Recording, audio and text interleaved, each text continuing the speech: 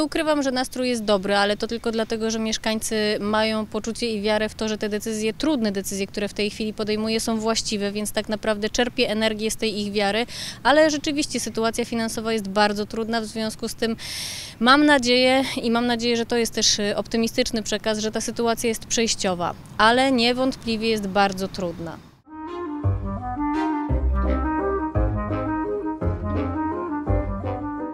Mojej strony nigdy nie padła taka deklaracja, nigdy też nie miałam takiej intencji, żeby teatr został zamknięty. Myślę, że te niepokoje e, tak naprawdę buzowały w artystycznych duszach e, aktorów i pracowników e, Teatru Nowego w Zabrzu. Od czasu, kiedy zostałam prezydentką miasta, dwukrotnie spotkałam się zarówno ze wszystkimi dyrektorami instytucji kulturalnych w Zabrzu, jak i z samą panią pełniącą obowiązki dyrektora Teatru Nowego w Zabrzu, z jednym z aktorów, który również jest członkiem związków zawodowych w teatrze, z wiceprezydentem resortowym, który zajmuje się kulturą. Wiem też, że wiceprezydent wielokrotnie spotykał się z dyrekcją i pracownikami teatrów, w związku z tym e, myślałam, że temat jest zaopiekowany. Natomiast nie ukrywam, że sytuacja jest trudna, ponieważ teatr, ale też inne jednostki i instytucje są w kłopotach finansowych, tak jak całe miasto. No i teraz na pytanie, skąd tak naprawdę problem w samym teatrze, odpowiedź jest, wydaje się, bardzo prosta. To znaczy moja poprzedniczka tuż przed wyborami wyraziła zgodę i zainicjowała przyznanie podwyżek. Wszędzie, gdzie się dało, również w teatrze. No i problem polega na tym, że ta dotacja, którą teatr otrzymuje na poziomie blisko 5 milionów 200 tysięcy złotych, która miała wystarczyć na cały rok, po przyznaniu tych podwyżek tak naprawdę skurczyła się, tak? To znaczy starcza już nie do grudnia, a do września czy października. Niestety moja poprzedniczka nie była uprzejma zabezpieczyć środków na to, żeby e, móc przekazać większą dotację dla teatru, tak, żeby te podwyżki były wystarczające również, żeby kwota tej dotacji na podwyżki była wystarczająca do końca roku, a nie tylko do września, ale o to już nie zadbała. W związku z tym trudno to mówić o odpowiedzialnym gospodarowaniu budżetem miejskim, a także tym, żeby szanować te jednostki, do których te pieniądze miały trafić, a jednak nie trafiły.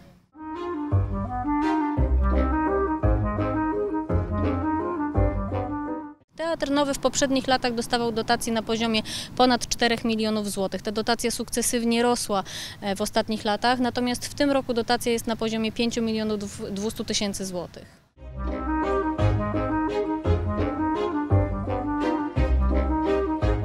Tak naprawdę to jest pytanie do dyrekcji Teatru Nowego, dlatego że do tej pory w naszym mieście panował model, w którym tak naprawdę jedna osoba albo kierownictwo urzędu przy ulicy Religii 1 w Zabrzu decydowało o tym, co w mieście powinno się dziać. A ja uważam, że każdy z odpowiedzialnych za jednostkę, za placówkę oświatową, za instytucję kultury powinien podejmować decyzje sam, z jednej strony licząc się z tym, że ma duże pole do działania i może rozwijać skrzydła, jeśli chodzi o swoją decyzyjność, ale wiąże się to również z odpowiedzialnością za podejmowane decyzje. Więc tak naprawdę o tym, gdzie i w jaki sposób szukać oszczędności, to to, to pytanie należałoby kierować właśnie do dyrekcji. Mam nadzieję, że koncepcję, którą pani dyrektor przedstawiała w trakcie konkursu, zechce podpisać i mam nadzieję, że rozpocznie pracę, biorąc pełną odpowiedzialność za to, co będzie działo się w teatrze.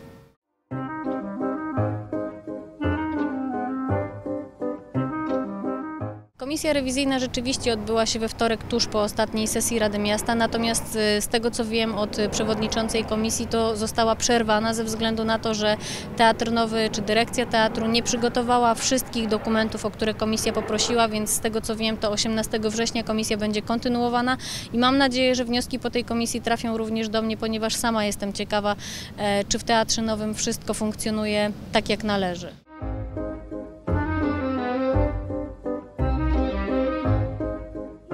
Przede wszystkim chcę z tego miejsca zwrócić się z bardzo gorącą prośbą do wszystkich mieszkańców Zabrza o to, żeby jak najchętniej odwiedzali nie tylko teatr, ale także filharmonię i wszystkie nasze instytucje kultury, po to, żeby właśnie wesprzeć je e, tak bardzo jak tylko mogą, ponieważ zakup tych biletów to są przychody, więc na pewno jest to bezpośrednie wsparcie dla teatru, ale oprócz tego uważam, że mm, dużą szansą jest korzystanie z funduszy zewnętrznych, pozyskiwanie pieniędzy na nowe premiery, na festiwale, e, także pozyskiwanie sponsorów na e, spektakle, które odbywają się w naszym Zabrzańskim Teatrze, więc mam nadzieję, że e, nowa pani dyrektor będzie z jak najlepszym efektem i z jak najlepszym rezultatem pracować na rzecz teatru, aktorów, ale przede wszystkim na rzecz e, mieszkańców naszego miasta, którzy są odbior- odbiorcami e, sztuk w teatrze.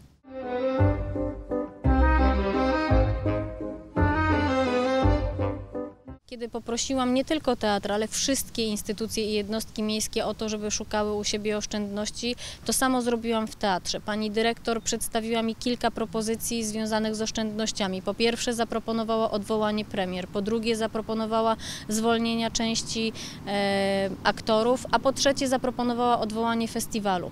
No nie ukrywam, że e, osobiście byłam zwolenniczką tego, żeby festiwal się odbył i nawet w różnych gremiach, także wśród radnych Rady Miasta mówiłam wprost, że uważam, że skoro mamy tego typu teatr i od lat odbywa się u nas festiwal dramaturgii, to że nie powinniśmy akurat na tym oszczędzać. Natomiast tak jak powiedziałam wcześniej, dyrekcja jest dla mnie tak naprawdę mm, nie tylko dyrekcją z nazwy, ale przede wszystkim jest dla mnie organem, który odpowiada za teatr. W związku z tym, jeżeli jest taka sugestia, to my jesteśmy na etapie analizy tego, czy rzeczywiście festiwal nie powinien się odbyć i czy rzeczywiście oszczędności nie można szukać jeszcze w innym miejscu. To nie jest też tak, że nowe kierownictwo miasta nie szuka pieniędzy i czeka tylko na to, aż te miejskie jednostki znajdą oszczędności. Nam w tej chwili do tego, żeby zbilansować rok w budżecie miasta brakuje 225 milionów złotych. To są ogromne pieniądze. W związku z powyższym mam nadzieję, że uda nam się znaleźć te pieniądze, ale mam też pełną świadomość tego, że nie tylko w tych naszych jednostkach miejskich i w miejskich instytucjach, ale że musimy sięgnąć po pomoc z zewnątrz, bo tych oszczędności wewnątrz miasta znaleźć się nie da, ale z drugiej strony nie oszczędzać i czekać na to, co będzie dalej, byłoby po prostu nierozsądne.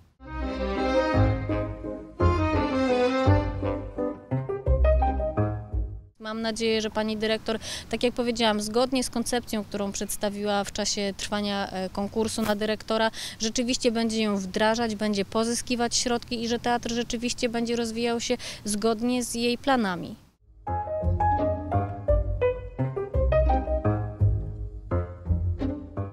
To było jedno z pytań, które pojawiły się w liście otwartym, który został do mnie skierowany e, i podczas spotkania, które odbyło się w miniony poniedziałek z panią dyrektor, w którym brała udział nie tylko pani naczelnik Wydziału Kultury, ale także pan wiceprezydent, który zajmuje się w naszym mieście kulturą.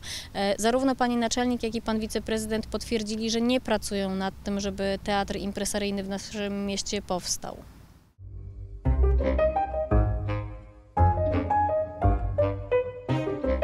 Szpital miejski w Zabrzu jest bardzo mocno zadłużony, bo grubo ponad 80 milionów złotych e, i niestety nie wygląda na to, żeby sytuacja miała się poprawić, biorąc pod uwagę to, hmm, jakie informacje do tej pory do mnie dotarły od czasu, kiedy zostałam prezydentem. Rzeczywiście sytuacja jest bardzo trudna.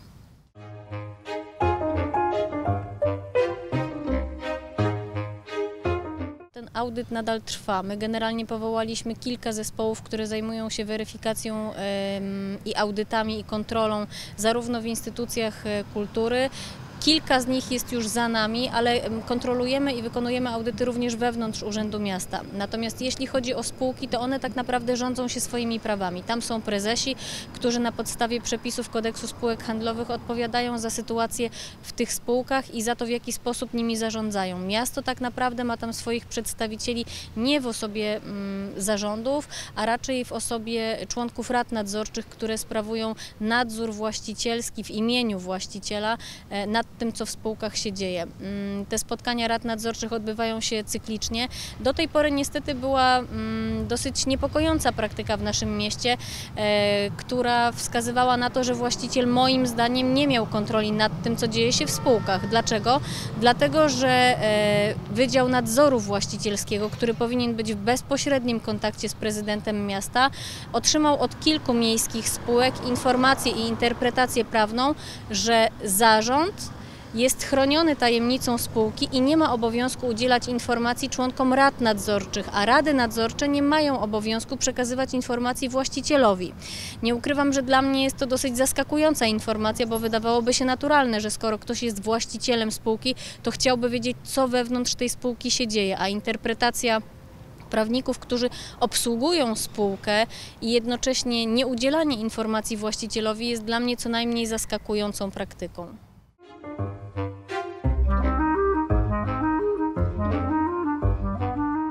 Nie ukrywam, że mm, te głosy o łączeniu szpitali pojawiają się dosyć często wśród y, różnych samorządowców, ale wynikają raczej z tego, że zdarzają się miasta, w których szpitale właściwie ze sobą sąsiadują i jednocześnie mają te same, tożsame oddziały e, kilkaset y, czy metrów od siebie, czy kilka kilometrów od siebie i tak naprawdę się dublują. Często te oddziały są e, niedoszacowane, jeśli chodzi o kontrakty z NFZ-em i to na pewno e, budzi dodatkową trudność.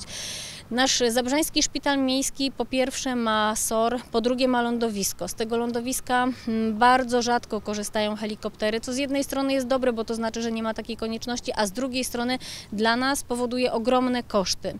E, Mieszkańcy oczekują też e, jak najlepszej opieki i trudno się im dziwić. E, Ja od kilku lat bardzo mocno zabiegałam o to, żeby w szpitalu pojawili się pediatrzy. Od jakiegoś czasu rzeczywiście tak jest, ale mimo wszystko wiem, że pacjenci w naszym mieście czasem na opiekę nocną i świąteczną trafiają niestety do ościennych miast, więc e, analizujemy to również z prezesem e, szpitala, e, dlaczego tak się dzieje, dlaczego tak się dziać nie powinno i pracujemy nad tym, żeby ta sytuacja się zmieniła, bo docierają do nas również niepokojące informacje o tym, co dzieje się w szpitalu, a dziać się nie powinno. To znaczy o tym, że pacjenci niejednokrotnie czekają tak długo na pomoc e, lekarską, że hmm, rezygnują na przykład z e, tego, żeby skorzystać z pomocy, będąc już w szpitalu.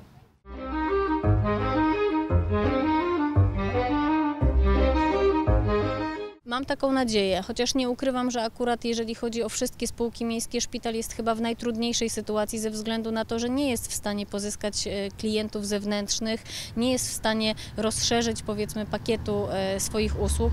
Natomiast mam nadzieję i nad tym e, pracuję i chcę nadal pracować z prezesem szpitala, żeby trochę zmienić profil działalności naszego szpitala, tak żeby te usługi, które są słabo wyceniane, trochę bilansować z tymi, które są wyceniane lepiej, ale trzeba pamiętać w tym wszystkim o naszych mieszkańcach i o tym czynniku ludzkim, który oczekuje tej opieki medycznej. Ale nie chcę zdradzać jeszcze zbyt wiele szczegółów, żeby nie ujawniać ich przed innymi samorządami.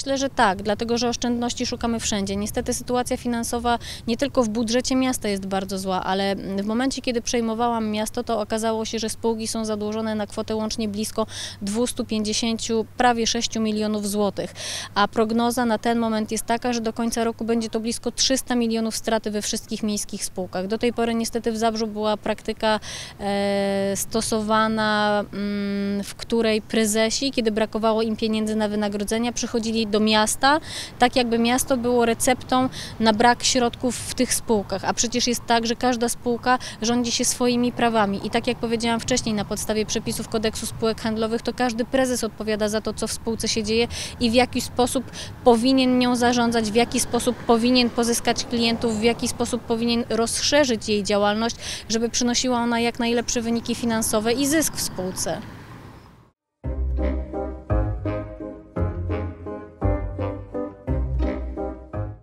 Tej chwili staramy wspierać się szpital na tyle, na ile jest to absolutnie niezbędne, e, szczególnie w zakresie podatków, natomiast e, tych lokalnych. Natomiast e, nie ukrywam, że docelowo mam nadzieję, że szpital będzie w stanie radzić sobie sam. To na pewno wymaga trudnych decyzji. Podobnie trudne decyzje podejmuję ja w Urzędzie Miasta, również w stosunku do mieszkańców Zabrza.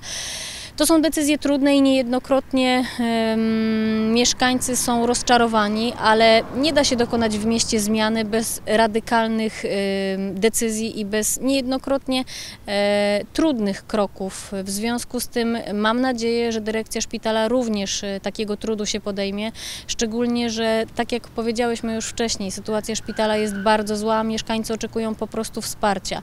W związku z powyższym mam nadzieję, że razem e, uda nam się po prostu to osiągnąć.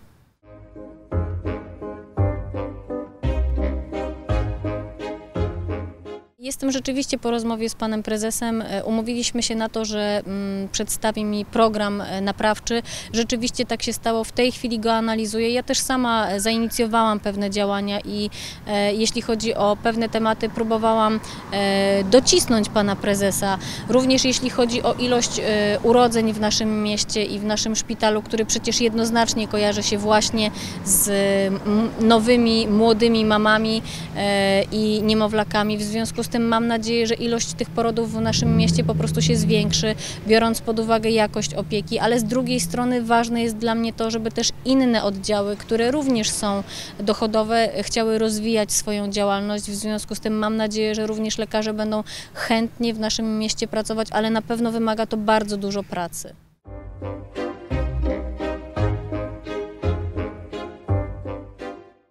Tak naprawdę, jeżeli chodzi o kulturę, to mm, patrząc na sam teatr, to dotacja jest na poziomie 5 milionów 200 tysięcy złotych. Jeśli chodzi o e, szpital, tak jak powiedziałam, grubo ponad 80 milionów straty. Niestety zadłużenie miasta z poprzednich lat to jest ponad 800 milionów złotych. A kiedy 7 maja zostałam zaprzysiężona, dowiedziałam się, że po trzech tygodniach, czyli 3 czerwca, nasze miasto straci płynność finansową. Kiedy przejmowałam miasto e, 7 maja, dowiedziałam się, że 3 czerwca nie będziemy mieć pieniędzy ani na zapłatę wynagrodzenia dla pracowników, ani na zapłatę rachunków za prąd, na żadne bieżące wydatki. Dlatego też musiałam podjąć radykalną decyzję i w porozumieniu ze służbami finansowymi miasta poprosiłam Radę Miasta o to, żeby wyemitować obligacje na kwotę 75 milionów złotych. I nie ukrywam, że to była dla mnie bardzo trudna decyzja, natomiast y, kupiłam sobie tym trochę czasu żeby móc podejmować następne działania, ale prawda jest taka, że te działania, które podejmuję w tej chwili przyniosą efekty dopiero za kilka miesięcy. E, Tak jak powiedziałam wcześniej, te decyzje niejednokrotnie nie są łatwe, natomiast jestem przekonana, że dla finansów i dla budżetu naszego miasta są jedyną właściwą drogą.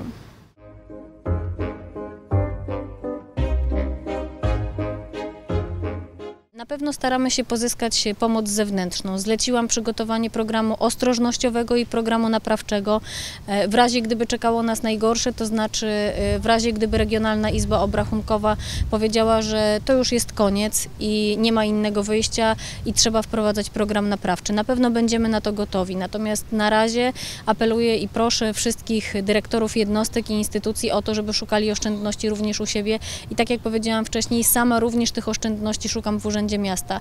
Jakiś czas temu wystosowaliśmy pismo do e, różnych placówek o to, żeby pracowały w temperaturze nie większej niż 20 stopni Celsjusza. Widziałam, że niektórzy hejterzy w internecie oczywiście obśmiali to pismo, ale to jest jeden z przykładów tego, w jaki sposób staramy się w naszym mieście szukać oszczędności. Dla kogoś może to być śmieszne, ale ja raczej szukałabym tutaj tragizmu sytuacji, bo z jednej strony w poprzednich latach stać było miasto na kredyt na to, żeby organizować różnego rodzaju rauty i bale, a z drugiej strony dzisiaj musimy mierzyć się z tym, żeby wysyłać do e, również placówek oświatowych pisma z prośbą o to, żeby przykręcały kurek, jeśli chodzi o ciepło dla najmłodszych mieszkańców naszego miasta. Ale chcę też bardzo jasno podkreślić, te pieniądze nie skończyły się 7 maja, kiedy ja zostałam prezydentem. Te pieniądze skończyły się już dawno. Problem polega tylko na tym, że ja nie chcę zadłużać naszego miasta, a chcę uzdrowić jego sytuację finansową. Natomiast moja poprzedniczka nie widziała nic złego w tym, żeby dokonywać kolejnych, kolejnych i kolejnych zadłużeń naszego miasta.